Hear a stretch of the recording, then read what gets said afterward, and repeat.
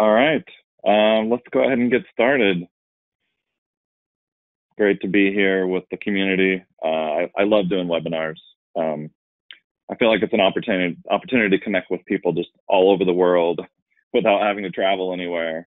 Um, not that I don't like to travel everywhere, but uh, it's it's fantastic to be able to allow people to be in their seats from wherever they are and uh, join us for for really critical topics and uh, the topic for day, today, I feel like, is extremely relevant. I think there's a lot of people who are in the situation where they're just stuck. They they don't know what to do.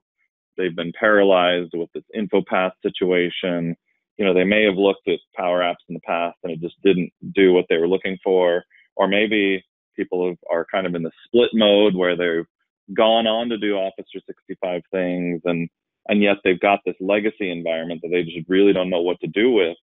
Um, and I'm hoping that the conversation today will really be able to dig into these these six challenges that are that are essentially paralyzing people in their migration to to the cloud or to Office 365 or to even on-prem uh, more recent uh, versions and just worried about hey how do we get rid of our our InfoPath legacy how do we actually get out of we know it's end of life we know it's dead what are we going to do?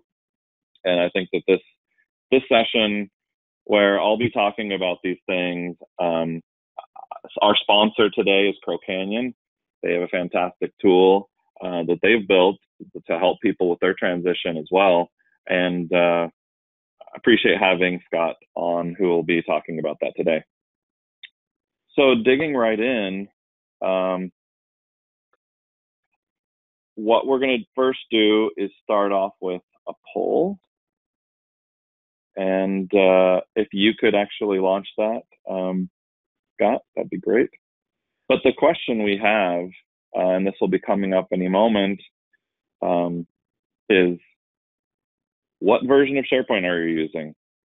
And uh, I, I, think this is an interesting one because there there really are people all over the map, and uh, as these come in, I am going to ask you, uh, Scott, to um, be able to speak to what what the options are, and also um, help us understand when the when the poll is complete. Okay. Yes, the poll is running currently, and we're getting replies to it. Uh, we have about 75% people voted. The results are showing a lot on 2016, 2013, about half and another third on SharePoint Online, leaving the rest on 2010, 2017, and I mean 20, 2007, sorry, 2010 and 2007, or other. Uh, it doesn't seem like anybody's replied they're on 2019 at this point. Interesting, but I, I think that's that's that's probably quite telling too. That those who are using InfoPath probably decided not to use it on 2019. that that kind of makes sense. That's true. Yeah. So we got about one third, actually 33% exactly on SharePoint Online and 44% 2016, 2013. And then uh, the rest on 2010, 2007 or other. So hybrid, hybrid's Great. also included in there. Yeah. Yeah. I can imagine a lot of hybrid. Okay. So yeah. And actually the fact that we've, yeah, the fact okay. that we've got a bunch of people O365, even though InfoPath is there, I can imagine there's a number of hybrid environments. Yeah. For sure. All right. Um, so one of the things that we started this um, this plan to do the webinar is we we built this infographic, and the infographic really was to help illustrate what are these reasons, what are these legacy features that are holding people back, and we came up with six kind of key things. One of them was the print ready forms. You know, people really appreciate being able to print. Um, the XML files that uh, you know you're, you're, storing your InfoPath uh, answers in these XML libraries, um, and also people who were doing more obviously with Classic, but they were doing cu- cu- custom HTML or JavaScript forms, um, some with you know with um, kind of code behind with InfoPath with SharePoint, kind of mix of SharePoint Designer type stuff, um, building these complex forms. And then also, um, a lot of people had built uh, external access into their extranet type of solutions or something some things that they were really looking for. And I think a lot of people have, have um, you know, forms is something that you can use outside, but InfoPath and forms really aren't parallel from that perspective. Um, it doesn't doesn't give you all the capabilities that, that Power Apps has or that InfoPath has. Uh, and Power Apps uh, for the most part, up to this point, has has not been anonymous or external sharing for those forms that, that you could build with Power Apps. Um, and then there was the the client. You know, a lot of people they would use that off that that client to, to either fill out forms offline or to actually do their editing. Um, and so people have been really curious about that story as well of tell me about the client. You know, does what can I do with the client? And the Power App story, for the most part, you know, they started off having this editor, but now it's all moved to the web. So there's a real question around offline and what those kind of capabilities are. Um, so essentially, this agenda for today is to really go through these six things and to help you understand kind of what's going on in this world of these particular challenges. I want to go deep. We're gonna we're gonna dive deep here. But the idea is to really loosen these rocks so that you know your ability to move off of infopath your ability to make some decisions around where you want to go whether it's power apps or third party tools or you know diy build something custom. I really want to be able to help you be able to to to help you get off this and you know for many years microsoft's been kind of saying this idea of hey, Power Apps doesn't seek feature parity with InfoPath, but really my story is, well, these are the issues that I've seen. And, and that I, I really feel like these are the ones that are that resonate. I've, I've actually done a lot of polling and um, hitting up a lot of experts and saying, hey, what do you feel like are the things that are holding people up? And this is the list we came up with. Um, you know, if you want in the Q and A, um, you could definitely stick in some things you feel like that might be missing from this list. But from what I found, this is this is a pretty good. I'm Not saying it's fully comprehensive, but it's a pretty good list of the things that are holding people up. And yes, it's true. InfoPath is dead. In fact, we had a big funeral way back. I think that was 2013 SharePoint conference.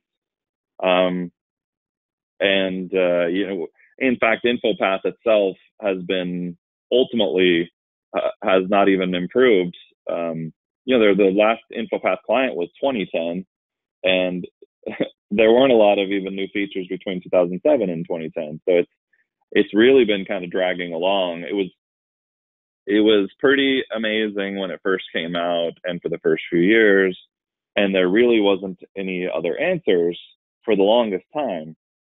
So there's just a lot built on InfoPath, and I understand people have used it as this application builder to build all sorts of things.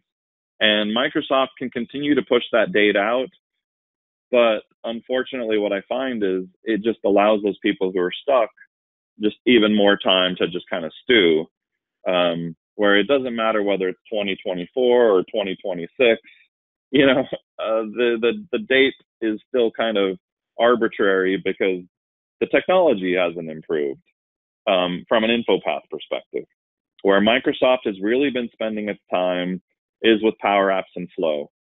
Um, but again, it doesn't seek feature parity, and a lot really just don't know how to proceed. Well, a lot of what I'm going to be covering today is really how stuff in Office 365, primarily Flow and Power Apps, and really a lot just Power Apps, really starts to address those things that you have concerns about and why you're you're paralyzed today. Um, so basically, the agenda is to take each of these six things, and then we're going to dive in. So the first thing, print. So what's going on with print? Well, print, I would say there's a number of actually different messages. So the first thing is if you're trying to say, I want to be able to print my form, you know, I've, I've seen some users say, oh, well, I just have an output to email and then I can print my email. It's like, okay, well, that's, that's a solution. So there's kind of this DIY of you can build it for yourself, print it from the browser or you know that those kind of capabilities of you know you can print export to a pdf and then print that pdf as an example or export to excel and then do your sizing and and so on inside of excel um, the where where where i would say the innovation is coming and where microsoft's spending their time is actually with the idea that power bi is the reporting engine of power apps um, in fact, there was a BizApps session on Roadmap where they actually talked about this. And in it, they basically talked about this pagination report capability in Power BI, where the basically the idea is to integrate your app or form with Power BI. And the strategy here is to become more integrated with Power BI to allow it to be a common report generation story. Okay. So um, the idea here is not necessarily to be add a bunch of reporting capabilities to Power Apps. It's actually to marry those two up a little bit more. So Power Apps and Power BI. Um, and uh, and, I, I just want to give a shout out to any um, power addicts that are actually on this uh, on this webinar. Uh, we appreciate the work that the power addicts community is doing. In fact, I would say if you're if you're looking if you're if you're looking for help in power in the power platform, you definitely need to, to, to seek out these power addicts. There's a hashtag power addicts. Um, you'll see it on YouTube. In fact, a lot of these people are really big on YouTube. Not saying they're crazy popular, but big in terms of they're actually, instead of doing blogs now, they're actually doing a lot of videos.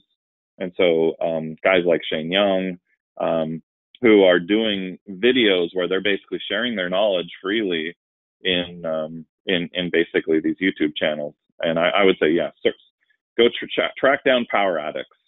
Um, really cool stuff. Um, yeah, and I, I was basically saying this this there's a really key session here. If you really care about this one, go track down at the Business Application Summit that happened earlier this year. It was actually the same week as SPC, if that's where you were, uh, where they actually reinforced the path of the Power BI reporting services this this this path here. And I can't speak, you know, I'm under NDA. I can't really speak to any details, but um, that if you can track down that session, you can kind of see where things have gone.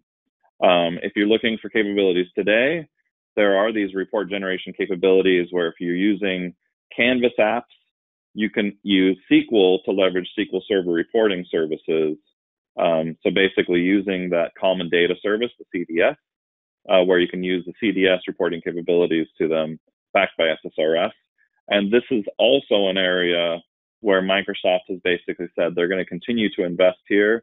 There's this is another roadmap investment area of improving the report capabilities. Obviously, if you're pushing data into SQL um, with SQL as the back end of your of your form, um, then uh, that's that's that's one way of being able to get really nice print ready forms or print ready um, data layouts and um, you know SSRS has a lot of really cool stuff as does Power BI um, in terms of reporting capabilities.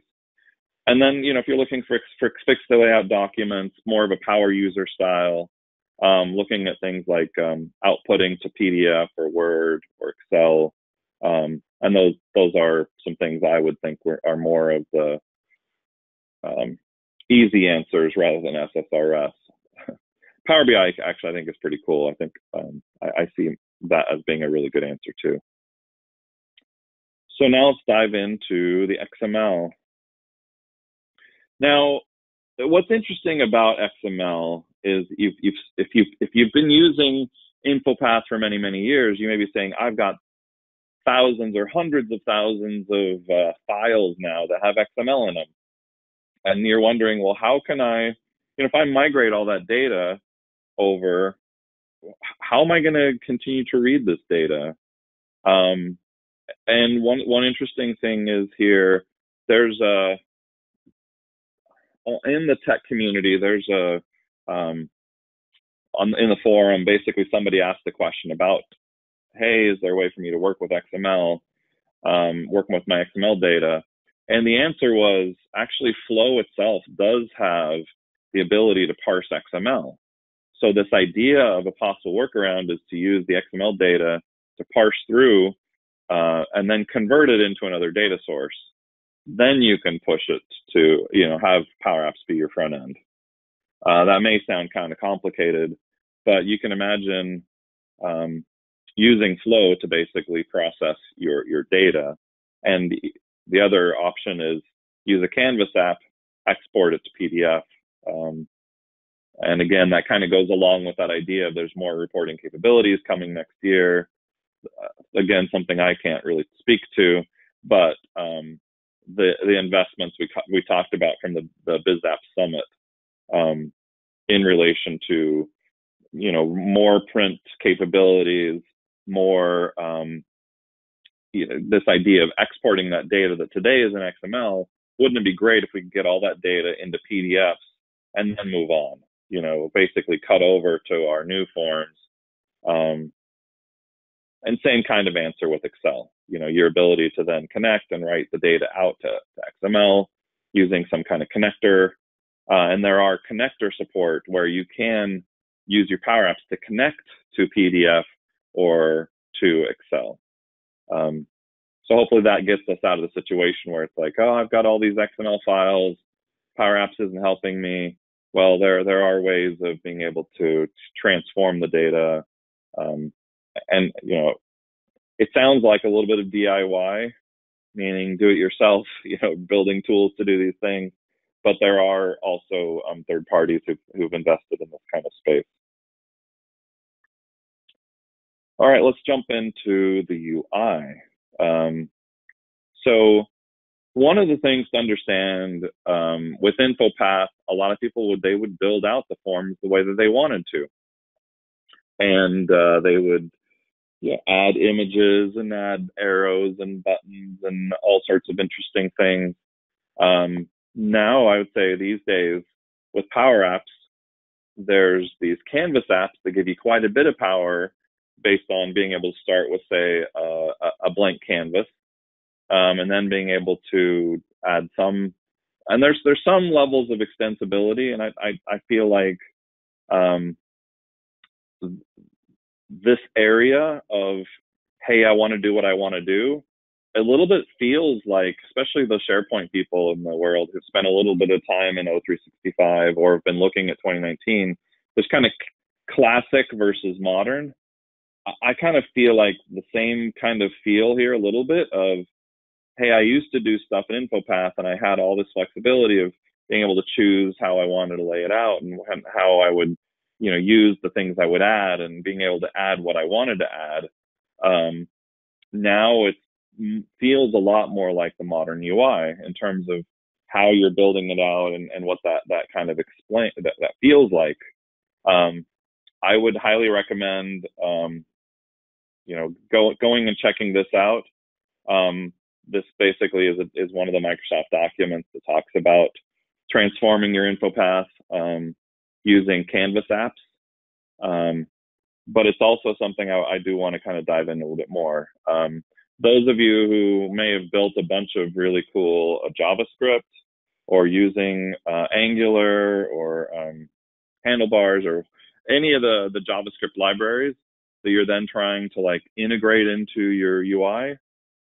This is this is one of the frustrations people feel like, hey, I used to be able to have all sorts of power uh, with my classic kind of experiences. You do need to rethink that now in this modern experience where where your power is is a different kind of power. In Power BI, like I said, there's these power addicts. They, as a community, have really been able to share best practices with each other to be able to build stuff that's really quite amazing, where you've got apps that call other apps, and uh, you've got all these really cool connectors with Flow.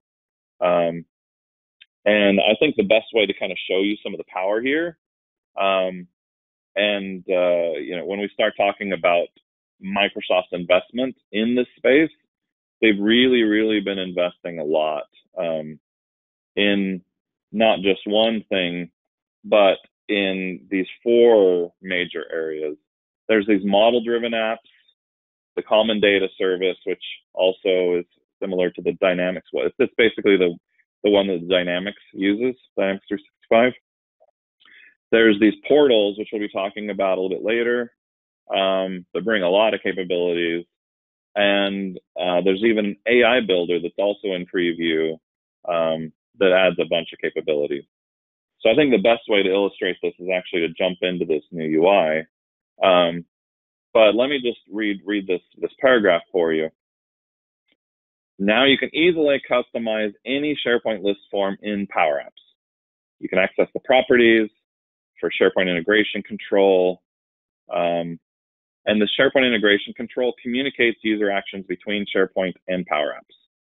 So the thing to understand here is your ability to have more of this control, and so your ability to take an existing uh, list or your ability to communicate between SharePoint list forms.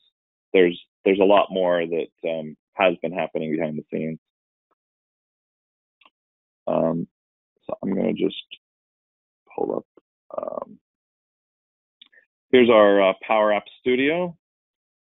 Um, all you got to do is like um, it's web.powerapps.com. I've uh, it, it basically you're you're logged into the tenant, and here's my here's my uh, experience.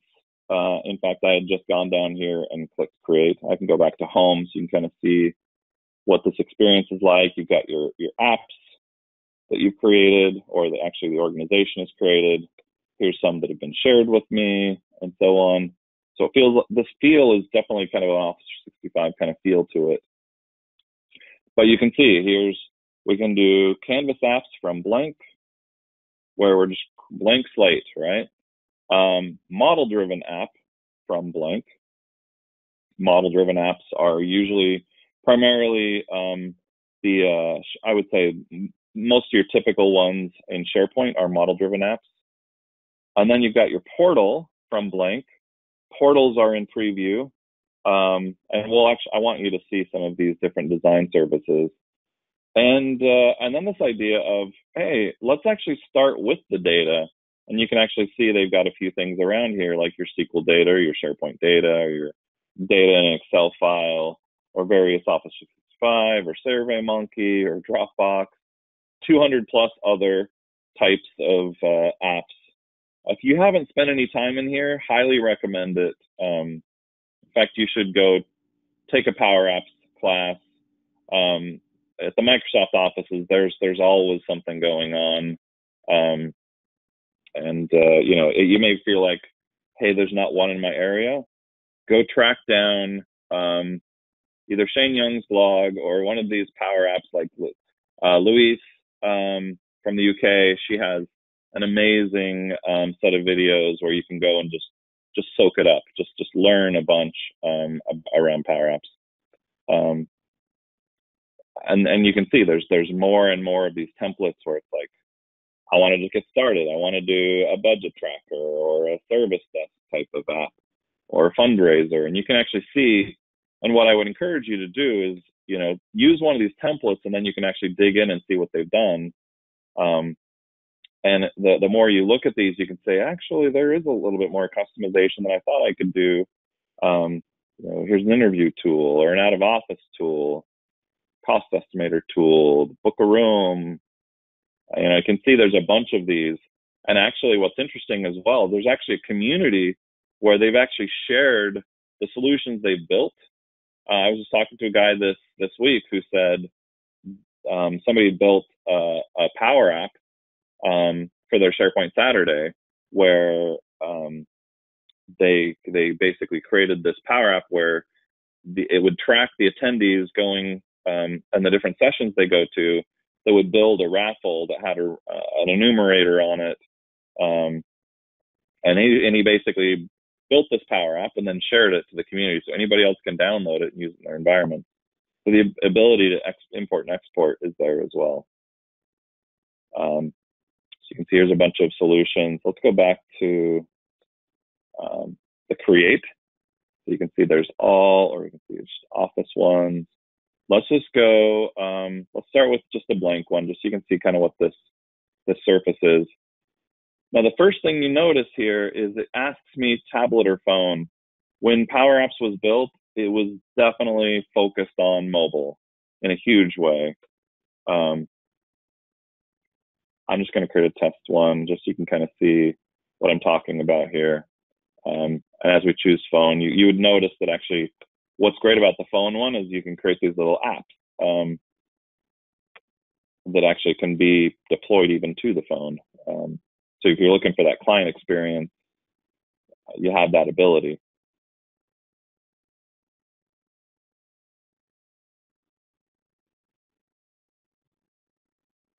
Getting the environment ready. Here we're it's opening up the studio. And now you can see basically we've got this browser based um, Power Apps Studio experience where I can create a form or a gallery, gallery being able to like, you know, display things, whether it's files or images or that kind of thing. Uh, we can even walk through this interactive tour, which I would highly recommend. Um, uh, but then basically here we are in in our studio in the browser, and the, and what's interesting is this this this started out being um, less rich than the than the client, and then it actually got better performance, and it's actually richer now than the client apps. They basically deprecated the the Power Apps Studio um, client a while back.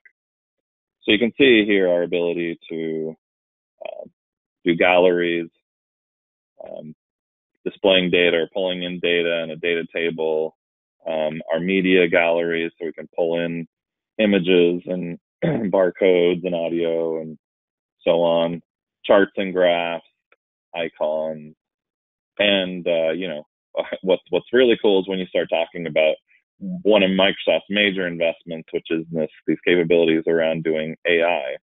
Um, I don't know if you guys saw the Inspire uh, demo last day with Satya uh, I think it was toward the end of his keynote, there was uh, a guy who actually had Pepsi bottles, and they used the guy created a Power App to take a photo that would then the photo would go into SharePoint, and then the Power App would um, it would use a flow to then use um, the AI to recognize and scan and see how many bottles were actually on the shelf.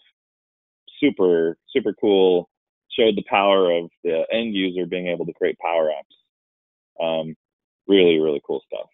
Um, I want to go back to um, let me just go back. Um, all right. So there's this these portals as well. The portals are in preview, and the reason I want to bring up portals is this idea that um, and you can see I don't have permission, so I can't really go too deep here. But I want to I want to speak to what the portals are. These portals allow you to connect to data, and they have, and it's kind of jumping ahead a little bit, but it allows you to share data with external and internal users. Um, so you, you, those of you who've been waiting for your ability to create apps for external users, um, fantastic. Those come with with the portal capabilities. Um, let me jump back here. But uh, yeah, definitely those of you who are, you know, you've been dissatisfied with with Power Apps, I would say it's it's probably time to go back in there. There's a lot more that they've added in terms of capability. There's actually a really rich community now that's around it. It's your ability to get a lot of answers. Um, that community has really, really been forming, and there's there's a lot of help now where you can kind of get tutored on your ability to start creating cool stuff. Um, on the AI side of it, you can use vision, you can use prediction, you can use language. Um, so being able to do kind of machine learning or machine teaching, these kinds of capabilities are coming to the platform. Right now, it's in a preview, um, but uh, it's basically point and click um, to be able to, to integrate Power Apps and Flow to to basically analyze and say, hey, is this a dog? Like you could create that right now, like the object detection stuff. Really super cool. Um, not saying that's what you've built already in InfoPath, but when you start understanding this is why Microsoft's investing here in this space, it comes full circle. Why it's like they want you to think differently about your data and about how you're collecting data and how you can automate that data with Flow or or you know being able to now that you've got your data where you want it, being able to use AI to um, or machine learning essentially to to be able to automate processes and, and gain insights on that data. Um, so these portals, your ability to, um, and this is pre-release basically, but the idea is you can create portals, you can create security roles, um, where you can assign different roles for external users. In fact, you can basically create a portal where people can sign up. Um, so your ability to essentially do anonymous from a perspective of a user can then register um, to get an account where they can then get access to data that you want to be able to, to share with them. Um, so the, the portals really is that that ability to, to share the data. And uh, on the left, you can kind of see an example of that. It looks a lot like a cool website where you're going to display your data, um, can have kind of a login experience where people can sign up uh, and get get invited to use um, these portals. Um, now, I'm sure this introduces a bunch of questions around licensing, and I'll, I do I did create a section at the very end to talk about licensing. Um, in fact, I actually did throw one piece in here.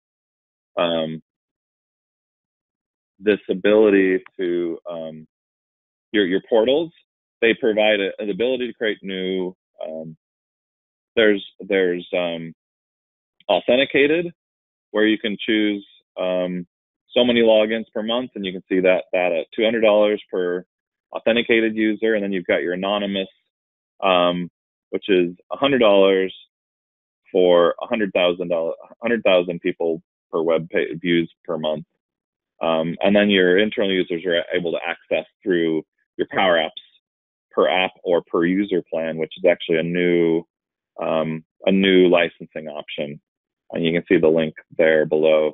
This this this kind of information is brand brand new.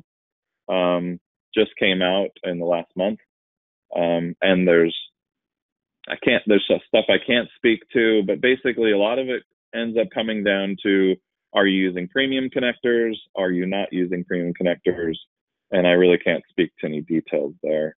But um, as you're building stuff out, just I think that's one of the considerations is looking at what what it is with your flow and your, your power apps. And we'll talk more about licensing in a minute.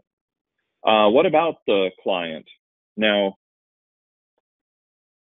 basically, there is no like like I was kind of mentioning before. That think don't think desktop app, think web client, or if you're looking for a client filling tool, these days it's it's more about what you can do on a tablet or a mobile device, uh, where you actually can have an app that's almost like a browser-based app, but with the CDS, you can have offline capabilities.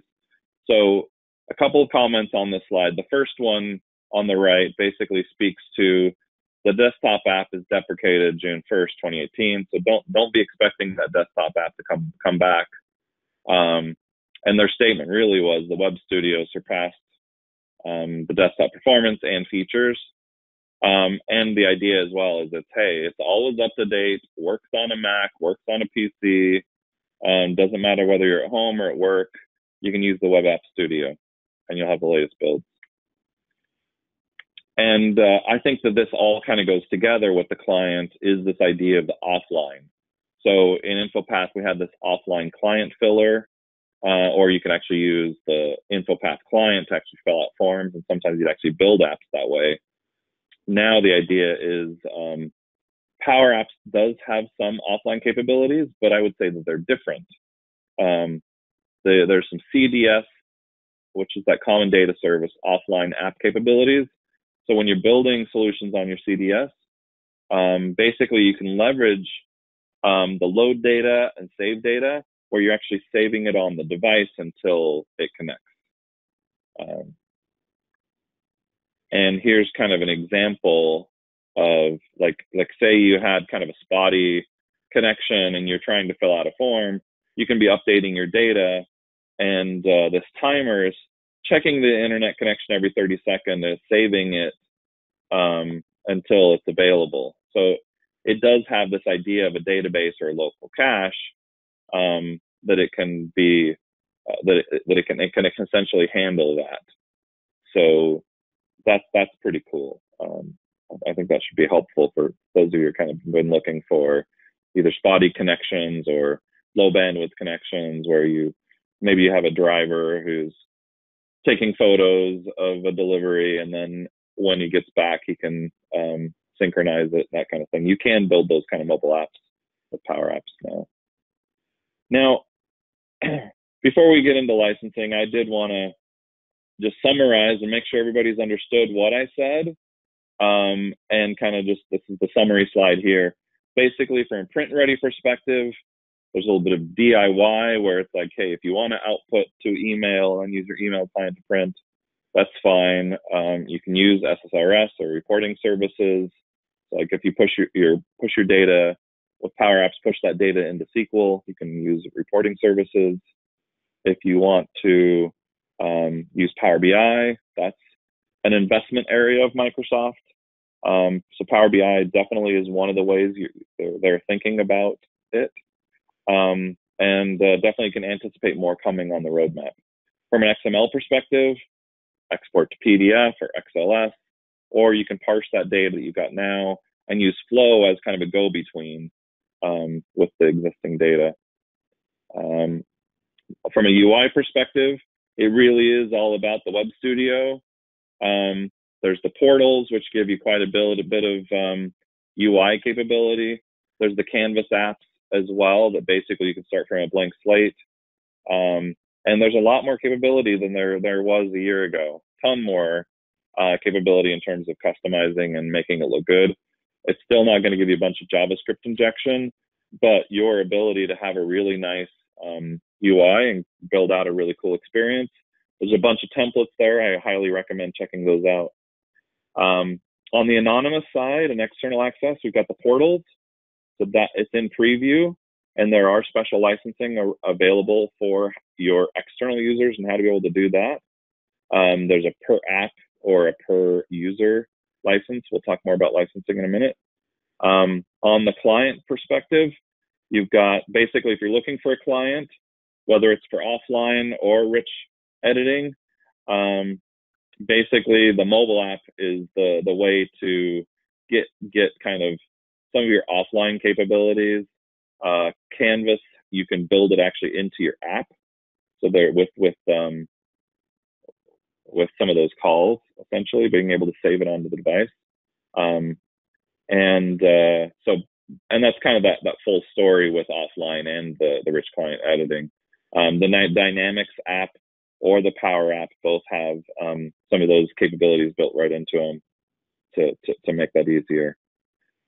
Now, some people are going to say, well, what do I get with my Office 365 E3 license or with the, the license that I bought? Um, that your offline capabilities is something you get with your your Office 365 license. Um, you can run a number of flows, like 2,000 flows um, per user per month. Um, it doesn't give you access to the premium connectors or the on-premises gateway. Um, it also doesn't allow you to use the data common data service. So you you get the um, the model model um, uh, essentially capabilities, um, and you can run your Canvas apps in the context of Office 365. Um, and it's your ability to create, run, and share apps you do have as well. Um, if you start looking at uh, plan one and plan two, where you actually get a lot more capabilities, uh, you can look at this licensing. Um, there really are quite a bit of differences between the two, especially um, from from a from a capability perspective. Um, in fact, there's some your ability to say like, "Hey, I want to build this app, but I don't know how the uh, enterprise is going to consume it." Um, if you if you end up building some of those premium capabilities into it, there is this ability to say, hey, I built an app and these are the users that are going to be using it. There's only a handful of them. I don't need to have to license everybody in the organization. You can have a per app plan. uh, which is like the ten dollars per user per app per month. Um, or there's the per per user plan, where you can basically take a number of users and say, this set of users, these premium executives or whatever, they have um, all you can eat essentially P1 and P2 at the $40 per user per month. Um, or takes takes takes the place of the P1 P2. So that that that per user plan. Um, Flow itself has its own story, and I don't want to have to dig too deep into this, but basically there's also Flow Plan One and Plan Two. The thing to understand is it's basically it comes down to are you using Salesforce or Oracle, these kind of premium connectors? Do you need to use the uh, the gateway to get at, your on-premises data? So a lot of this is basically digging in and trying to understand, well, what is it you're trying to accomplish? Um, how many flows from a flow perspective? And even with Power Apps these days, I would say basically try and understand where is the data that you're trying to work with? Because a lot of the licensing um, relates to premium connectors versus standard connectors. Um, now, with all that, um, I want to open up another poll, which well, is say, where are you with your InfoPath migration replacement? Say, Joel, would, before we do the poll, there are some questions coming yeah. up that I think are worth Great. addressing. There, people are asking some really good questions, and one topic that comes up a lot is about on premises if you're on SharePoint 2019 even or 2013, 2016. Yeah. There, you know, I've been uh, trying to address that question as I go along. Basically, you have to set up a data gateway and you have to have some kind yep. of account in Office 365 or a Power App or Flow plan that you know, obviously costs licensing. There's a license cost to both of those. Correct. So, yep. you know, if you go, if you you have to ask the question do you have to use power apps on premises or why not just use a tool that already is all set up without any need for an office 365 and of course being with crow canyon i'm going to promote nitro studio but there are a number of well, of course, right. number of forms and workflow tools that run entirely within the on-premises world why would you need to go to power apps and uh, flow uh, plans. Yeah, and, and, I, and I think that is an interesting one where it's like people are used to using SharePoint Design and InfoPath, so now you upgrade to 2019, and Microsoft saying, "Hey, don't don't use InfoPath and uh, Designer. You really need to start using Power Apps and Flow." Um, but absolutely, those are cloud apps, and the way to access those is by using the the gateway, um, and the, those data gateways, and uh, it does require special licensing to be able to to take advantage of that.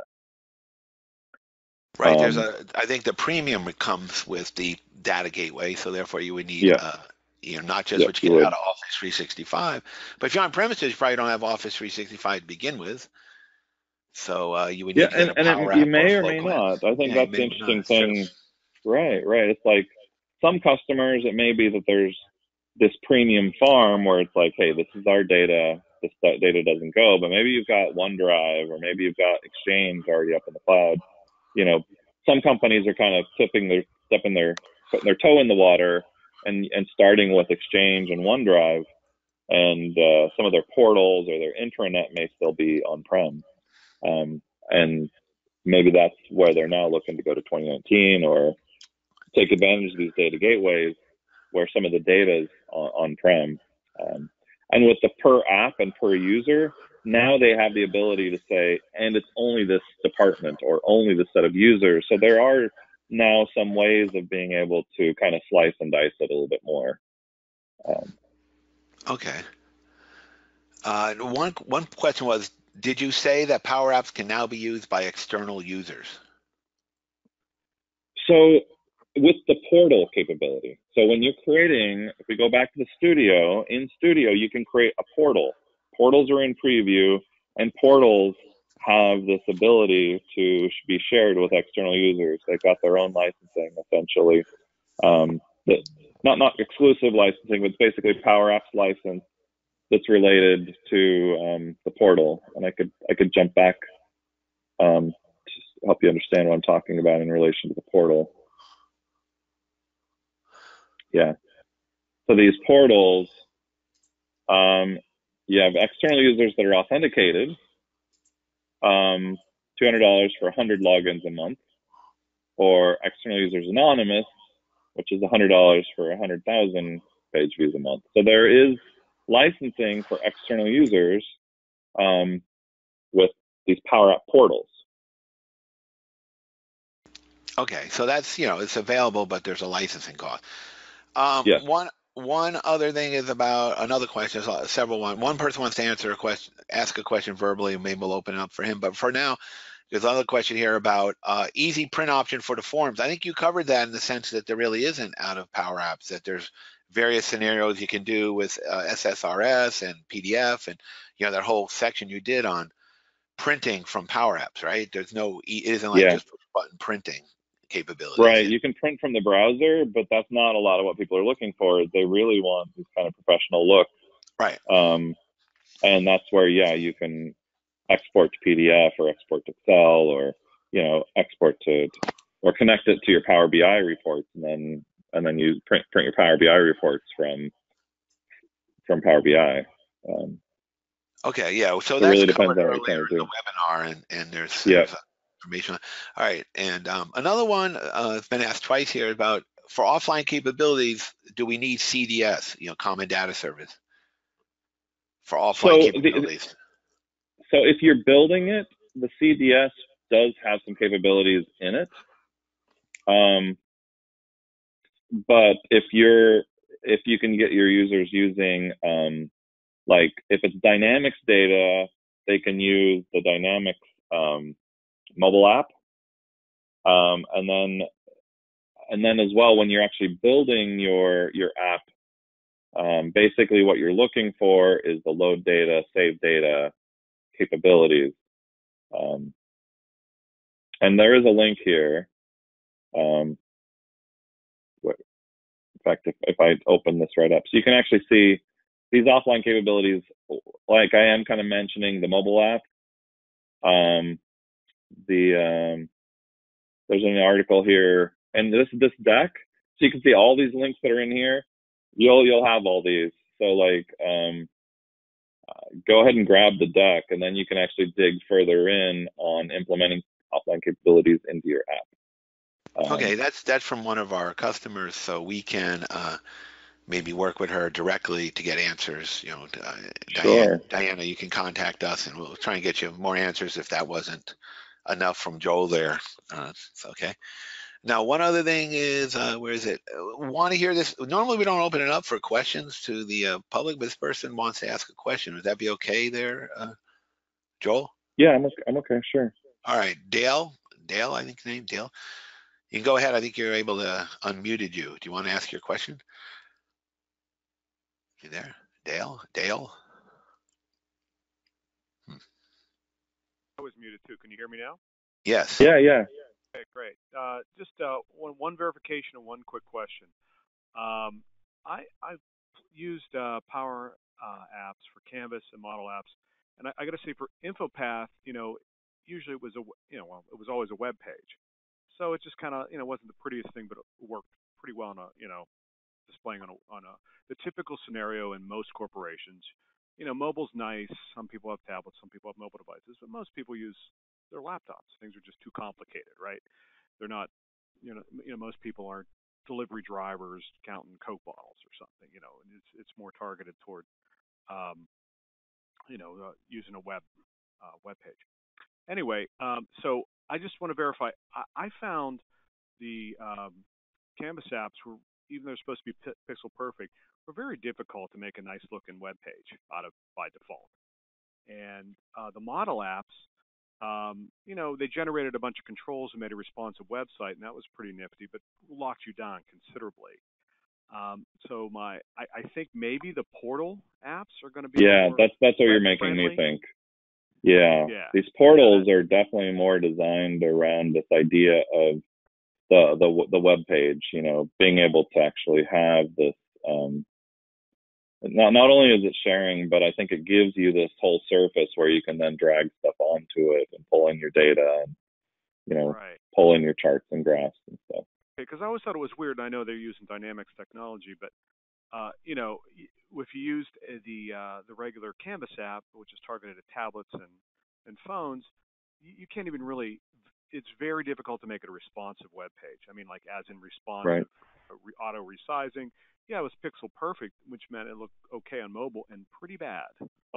giant boxes, giant text, you know. And then again, right, the mobile right. app would generate this nifty, responsive, uh, decent looking interface, but tweaking that was very difficult to make it anything other than what was seemingly out of the box. There didn't seem to be any extra controls you could get or anything. They were kind of nifty with what you got.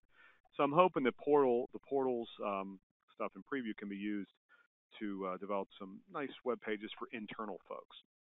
So I, like I, I agree. I, I'm very hopeful as well that the portals are actually the thing we've been looking for. Okay, perfect. And then one one quick thing, uh, you know, we work in a corporation here. Uh, there doesn't seem to be much of an application lifecycle management uh, aspect to any of this stuff. Like I'd like to move, you know, simple things like, hey, let's put it in dev, stage, and prod, or even even if you don't have separate environments or separate tenants for that, let's secure it away in a certain way. Is there any way to move, eh, you know, an app from dev to stage to prod, and then have maybe So- somebody else sign off on it? You know, very Yeah, basic um, 101 stuff that so many corporations, whether they're finance or hospital or, or just good practice, you know, you shouldn't always work in production. You know, so is there anything anything around? You don't have to necessarily put it to Git or um, or TFS, you know, old TFS. Um, but I'm just wondering, is there anything like, you know, I, it seems you can export pa- things into a package with model apps to some degree, but Yeah. you know, wholesale have just this giant, I guess it's a giant XML file of some sort. Yeah, so it's like you see here in the UI where you can import a package. Yeah. That's in preview as well. So you are you are going to see more of that ability to import and export and share and and so on. Yeah. Okay. And is that just for? I can't remember. I think that's just for model apps, or does that include Canvas apps as well? Um, let's just say that that that's that's an investment area. I, I can't I can't tell you exactly where they're at with it, um, but it, it, that ability that you're asking for is something that is an investment area.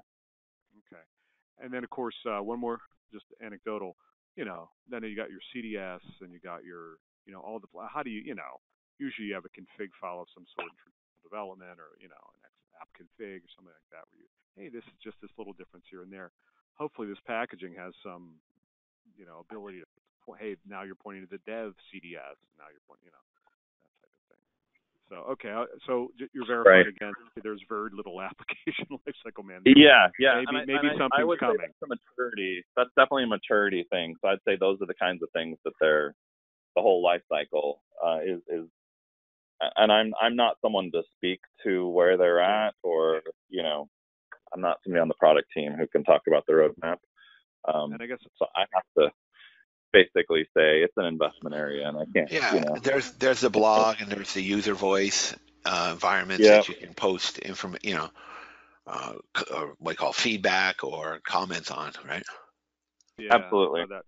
Uh, and one more thing, I hope this new licensing helps out. But boy, you you should just want to, uh, you know, design a solution, and then you got to think, well, wait a minute, uh, I'm gonna have to get. You're, you're halfway through, and oh, wait a minute, I got to get 100 P2 licenses because I'm using an Oracle data source, and I didn't think I needed to. So that's hopefully this new licensing will help with that. But it's it's a strange thing to like, you know, have to worry about forty dollars per user per month, maybe if you pick a, a, a feature. you know? Yeah, Right. There, there are Yeah. questions. You'll see a new licensing coming out or a revised licensing this fall, I believe, but uh, we're really not. It's not something we can really address due to NDAs and Oh yeah, I'm not asking for the answer. I'm just throwing it out there. That makes it challenging to. yeah, uh, yeah. come I think the with- like Alright. very challenging. Well, let's get some- P2, let- yeah, let's anyway, get some gotta get off. this I'm taking poll. too much time. Yeah. yeah, no, that's fine. We'll, we'll let's see if we get this poll before. Uh, we want to still launch the poll there, Joel. yeah. Go for it. All right. Thanks, Dale, for your questions. Yeah, sure. Thanks for letting me ask. No problem.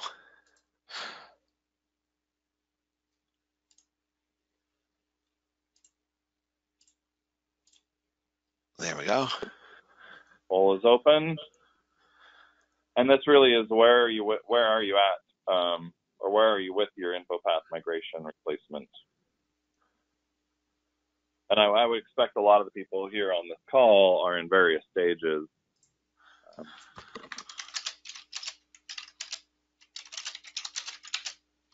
And you want to speak to some of those options, Scott?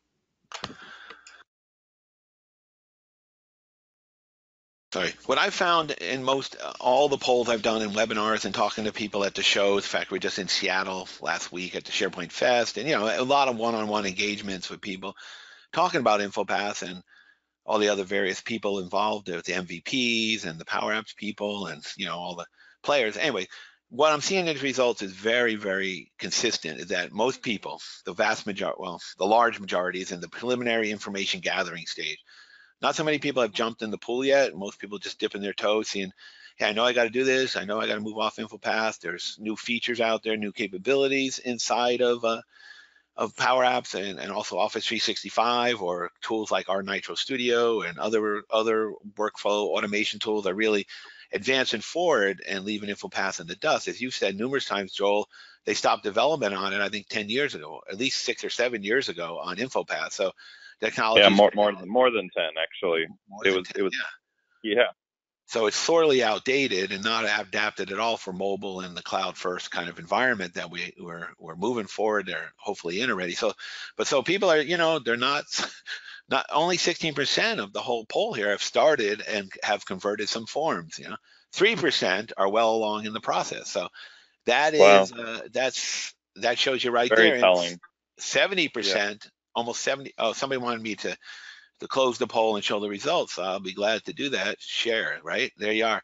So, you know, I'm not making those numbers up. They're right there in this uh, this call, and they're very consistent with what I've seen in other other places. So I do see a little more on started, Joel, than I have previously. You know, I mean, funny as it's only 16%, but that is a there may be a move starting, you know, down that. And. I, I would love to hear from people as well. Like, was this did this resonate? Did this did this webinar help you see it in a new light? You know, is are you after the data I've shared today? Uh, is that is that something you're now going to go, you know, look at in a different way? Um, it'd be great to, to, to get some feedback as well from people on. If you want to just even add, add that into the comments, I'd, I'd love to know if this if this resonated and helped you get get unparalyzed.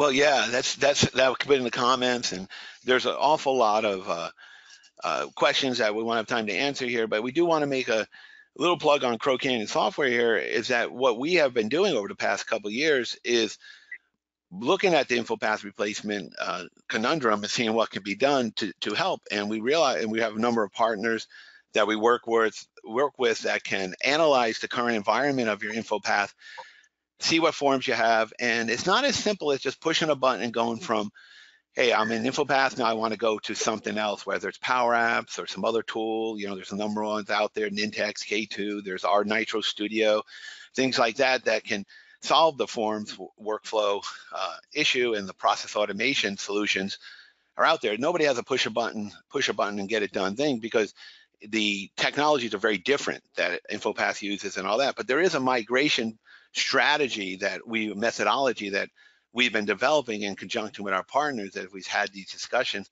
involving and analyzing what you have in place already, getting uh, certain as to what forms you have or what InfoPath workflows or InfoPath investment you have already, and then seeing how that can be converted. Now, it isn't you always want to take junk from one and junk to the other because there may be a number of InfoPath tools that are outdated or uh, inappropriate or need revision or updating or whatever. So there has to be an analytical analysis part of it that says, well, do we really need to move this over? If we do move it over, what needs to be changed? Who's using it? Look at usage stats and say, well, it's great form, but no one's using it. I mean, all kinds of information like that being set up a plan that will move over to uh, a new environment, the, the Office 365 Power Apps, or if you're on premises, you might want to move to an on-premise solution um, in, in that regard. And part of that is, you know, we have this Nitro Studio, which, which does that. And I was talking to Joel before the webinar and saying, you know, Nitro Studio is a form and workflow solution. You could take it right now, start building forms and workflows, you know, as much as you want. But the point is that if you're talking about InfoPath replacement and migration, you're going to have to look at what you have, see what needs to be moved, and we're, you know, Crow Canyon's very invested in that. We've done a number of projects. We have a number of customers we're working with, and some have small number of forms, some have large numbers. And, seeing what can, it takes. Really, it's a it's a work in progress. To be honest with you, to see what it takes to go from one to the other, and everybody's different in what they have and how they want to move and when they want to move and what the social and organizational issues are involved in movement. Because a lot of user adaptation, user adoption, I mean, and user user impact when you move from one type of form to another. So it's a bigger project than just getting, oh, I'm just get this tool and it's gonna be done. I'm just gonna learn Power Apps and it's gonna be done. I'm just gonna use Nitro Studio and it's gonna be done. Those certainly are tools that are useful and will play a big part in InfoPath replacement or migration, but it's also that strategic approach of saying, what do we need to do to get from point A to point B? And there's a number of partners we're working with. There's a number of things we're doing. You can migrate data, for example, and have all the data dumped from InfoPath into a SharePoint list, and then you still have to build forms and workflows that use that data, but at least you have the data there. There's there's technologies that we're working on that will move forms over, uh, but it's you know it's this nascent, it's beginnings. It depends what you have in your forms and how complex they are. It's not as easy as a simple, like I say, push a button. So, a number of things going on there. Now, if you look at um, yeah, we have a number of infographics. Uh, here's one that Joel's showing about seven reasons why Nitro Studio InfoPath replacement tool, because we're pushing that along. We want to keep, we want to, one reason we sponsor this webinar and have these uh, calls and uh, efforts is that we want to encourage people to take the steps and go from that very preliminary stage into moving it along. And as Joel said at the beginning, not wait to the last minute and then scramble to get you know, uh, ahead of the InfoPath cutoff date, expiration date, and and or move into a new version of SharePoint or Office 365, move to Office 365 and find yourself kind of stuck with this, uh, you know, weight, the sinking ship of InfoPath. So we have a number of things there you can look at. We have a whole guide to InfoPath replacement on our website. We've done a number of webinars. We have a set of resources available. So we're really glad to sponsor this and work in hand in hand with Joel and what he's doing and help you move from the uh, current, you know, get off the very preliminary stage or just started stage into, you know, an aggressive uh, forward moving move from InfoPath and to, to uh, you know, the the newer solution. And hopefully it's Nitro Studio, but if not, we can help you, you know, in whatever migration you're doing to whatever solution you have there of the forms and workflows and you know, the brave new world, the big shining ship coming to rescue you from InfoPath. Quite a fun graphic right there, isn't it? That he's showing on his website. So uh, also, oh, this is another thing. We have another webinar. Joe, can you go to that webinar about coming up on this Thursday? Uh, yeah, we go through all this, but there's a web, this one right here, August 29th. That's this Thursday with James. Same time, 11 a.m. Pacific, 2 p.m. Eastern. You can sign right up at crowcanyon.com webinars and take a good look at the Nitro Studio Forms Designer and we'll cover some of the capabilities of that tool and uh, see, you know, if that's got to play in your in your uh, in your plans here. And I think this fall, I'm getting encouraged now. Joel, maybe Joel, you and I will do another webinar, or I'll do one specifically on InfoPath replacement techniques and strategy. That might be a good one to do. I've done that before a couple times, uh, but it'll be good to do again, refresh it with new ideas and the new information from Microsoft that's coming out as we can reveal that, right? When you say? that'd be good. Set that up maybe for October. So, anyways, anybody can get in touch with us one on one and uh, talk to us about you know Crow Canyon or Joel about what is what is possible and what is the way forward and a number of good questions. You will try and answer them afterwards and through a blog and go from there. But thank you very much for attending. We're going a little bit over the hour, so here's some information. Uh, it's more than we can cover in one hour, right, Joel? There's so much here.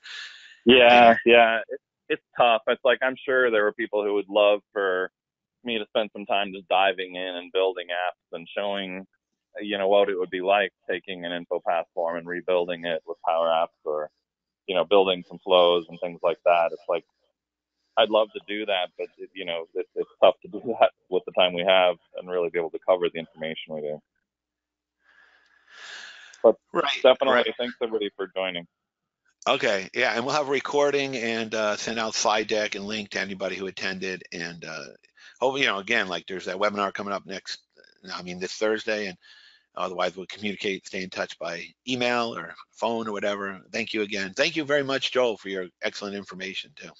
Yeah, and let me just let me just say, any questions as well as the polls, I'll be doing a follow-up blog post to post the information and kind of speak to um, kind of where people really are at. It's it's it's really still interesting to understand how many people are actually kind of stuck here, and we want to help them. Um, in reach you can reach out to me on LinkedIn. We can connect. Uh, there's my blog, tra- collabshow.com. There's my travel blog, travelingepic.com. um, but definitely love to connect. Uh, love the community. Love to hear from you as to whether this is uh, valuable for you and help you understand what's going on in your world.